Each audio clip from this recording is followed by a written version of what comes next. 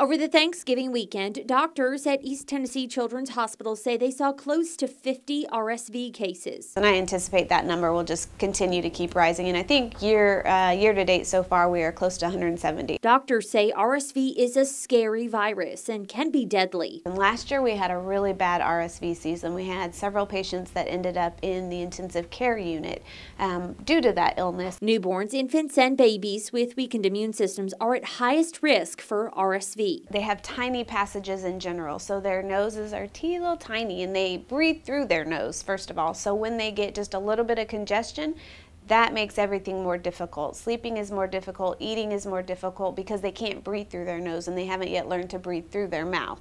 And then on top of that, little ones have a lot tinier breathing tubes than we do. Doctors say babies who have the infection will lose their appetite, have a runny nose, and a cough. Really working to breathe, their belly goes up and down, they'll pull in right here, they'll be pulling in between their ribs. It's why today they're stressing everyone take care of little ones by washing your hands, not touching your eyes, nose, or mouth, Cover your coughs and sneezes. Clean and disinfect your home and stay home if you're sick. Don't kiss the babies. Don't love on the babies if you got any kind of runny nose, cough, congestion, anything like that. And as a mom, absolutely feel empowered to say, hey, if you're sick, you have respiratory symptoms, please do not come near the baby.